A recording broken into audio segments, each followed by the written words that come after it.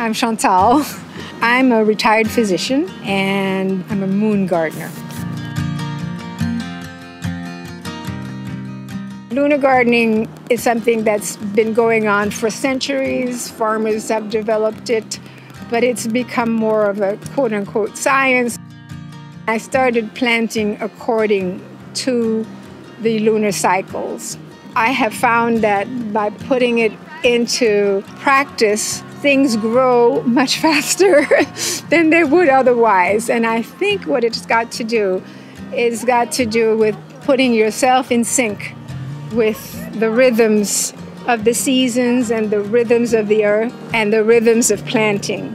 And I think that when you put yourself in sync with the seasons, when you're in touch with nature, you feel different. You are more grounded. It's a different feeling. And I think that that's what permeates this garden. As a result of the fact that this garden is on a street corner, there's a lot, there's foot traffic around it. I don't have a fence, so it doesn't make any sense for me to try to keep things to myself. So it was almost out of necessity that I created a garden that's open to the community. This just happens to be where I can garden, so I'm gardening out front. That necessity pulled me out of myself. It pulled me out of my depression. It put me back in touch with the community. And now a lot of different things have grown out of it. I put out this little stand, which has become an exchange. When I have excess produce, I put it in there. People can pick it up. When people have excess stuff from the neighborhood, they'll come in, they'll put it there. And, you know, it's just a really nice way for people to share what they've got. Started the garden on this little plat right here, which is about, I think, 10 by 20 feet. And that was the very first garden. Everything else, when I started gardening, was lawn, except for just a little border over here. And when I first started gardening, it was not really in my mind to do anything other than just to plant a few flowers and to have a, a pretty garden. But the real urge to garden, and this particular garden came about after I got really sick. I hurt my back and had a couple of uh, spine operations, and uh, the recovery was very, very difficult and long. I was on a lot of medication, became very, very depressed, and um, just found really a very hard time motivating myself to do anything. I had so much pain I couldn't stand for very long to do anything inside the house. It was hard to imagine that I could even do anything outside. But I had this urge. It was like a elemental force that said, "Come and do this. You can do this." I didn't listen at first because it seemed impossible when I couldn't stand up to cook a meal. How was I going to, you know, come out and build a garden? But that voice wouldn't stop. It just said, "Yeah, you can do this. You can do this. Come out and garden." One day, I remembered that I had this little stool that rolled around, and I put on my back brace and I slipped an ice pack in in the back here and I came out, and before I knew it, I had cleared up the space. And within a few days, I had actually I planted my very first garden, and I got enough vegetables out of that very first garden to share with a lot of people, and that's what got me going. This part is the herb garden, and I always tell my students if you're going to have an herb garden, you must put it really, really close to, the, to your front door. It has to be just within a few steps so that when you want something, you can walk out, clip it, and walk back inside. So I've got parsley, oregano, all of my culinary herbs, but I also grow some medicinal herbs. I've got lemon balm, I've got lemon verbena, feverfew, and I like to make my own soaps and I make my own creams and lotions. So I use the herbs and the flowers from the garden to infuse oils, and then from those oils I make the different products. And I use that's, um, that's pretty much what we use for the whole family.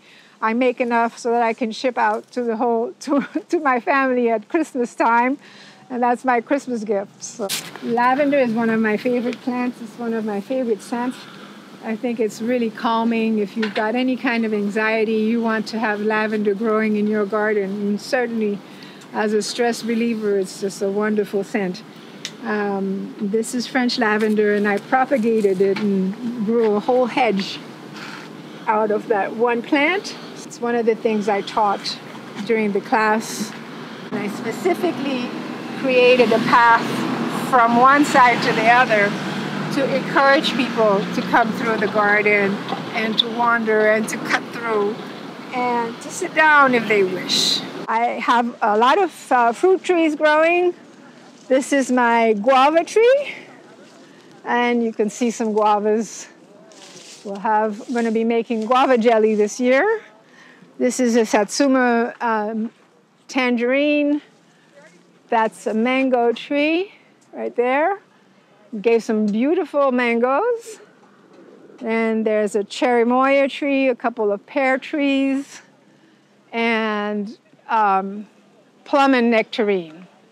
We've always got kale growing, and I like to keep the kale right in front because I encourage people to pick it themselves, and the kids love to come by and pull the kale and just chew on it. This is my vegetable exchange stand people will bring things that they that they have extras of, and whenever I have any extras, I'll put it in there, and whatever's there, the the neighborhood partakes. I have a few more beans growing, so this was loaded up with beans. You can see they're really drying up, and I've left them on the on the vine to dry up because I want the seeds for next year. So I don't have to go and buy any more seeds. I just collect the the dry seed pods. Yeah, you wait till they're completely dry, and then I will use those seeds for my next year's crop. Happy and that little thing, that little pole with the can at the top, that's where I put peanuts for my friend the blue jay. And he comes and eats the peanuts, but he stays around and eats the bugs too. So I encourage him to visit the garden because that's my pest control. I've got bird feeders hanging all through the garden for that's for the same reason because you bring the birds to your garden, they will help you out by eating eating the insects. Today with the children of the neighborhood we planted the box and this is our winter vegetable box. So we planted kale, lettuce, broccoli, onions, there's cauliflower, and there are flowers growing to attract beneficial insects all throughout the box. At the bottom, it's full of logs, so it's called a hugelkultur um, because it's very expensive to fill a box with a lot of soil, and you can get away by putting a bunch of uh, twigs and grasses and everything at the bottom. Yeah, put about four inches of soil, and that's all you need to grow. And as things go along, the branches will decompose and actually rot and turn into soil. So that's what's going on with this box. We planted a, a bunch of trees along the parkway now that we have gotten permission to grow food on the parkways. So I've got citrus growing on the parkway. The the outside of the garden is not irrigated at all and only depends on whether I water it or, or the weather waters it. And that's because it's meant to be a permaculture garden, so it should not really depend on watering. It's, it's hard to maintain at first, but once you get it going, you just have absolutely no worries. It just keeps itself going. So um, it may not. Uh, be obvious to put roses, but roses are actually really hardy. They are drought tolerant and they will reward you with a profusion of flowers whenever it starts to rain again. So I find them good plants to intersperse. Well, these are my favorite roses, and I plant roses in remembrance of people. So, you know, when I lose a friend or a, a family relative, I will plant a rose bush. In so there's a rose bush. This is my aunt's rose bush. She likes yellow roses. And there's one planted for my mother. uh, so yeah, it's just my way of keeping their memory alive. So I have one more plant that, in terms of memory and keeping things alive, is really important to me that I'd like to show you. So it's up over here and it's right by my door. It's not a very showy plant at all, and it doesn't look fabulous, but it means a lot. Okay, so this aloe plant was given to me as a gift from a family that has preserved it since the Middle Passage. This particular plant made it through the Middle Passage, was smuggled aboard ship by a slave. It was grown in the fields of America. That family escaped to freedom to Canada. They took the plant with them and grew it over there. Some of them came back to the United States. They came to Maryland. They brought the plant to Maryland. And some of them moved to not too far from here, a few blocks away from here and I was lucky enough to get a piece of it. We don't have very many things to connect us to our past. There's a big block that's, you know, been taken away from us. And to have anything that you can touch that carries the memory of your ancestors be there, not even blood related. To me is this is my talisman. It's it's amazing to have this it's just amazing. I take my inspirations from some people that I really admire. Uh, Vandana Shiva is one of my heroes. She uh, started the seed saving movement in northern India after um, the epidemic of farmer suicides up there, and she has been a real force against Monsanto. Um, she established um, an organization that has uh, really revitalized seed saving and heirloom seeds in India.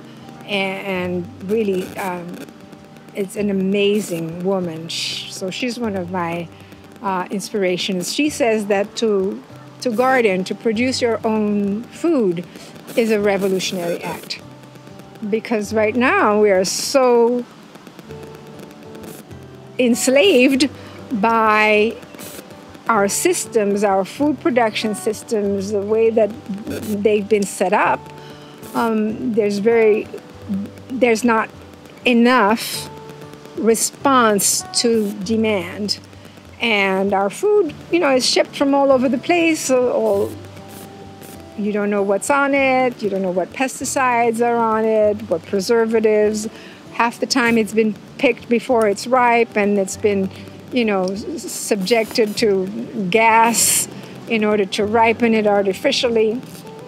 It's not real nutritious food. And it's really, really important, I think, um, to everyone to get their hands in the dirt and to get back to growing something, whatever it is, on your balcony, wherever you can find some open space, a little bit of sunshine grow something. It'll make you better. It'll make your life better.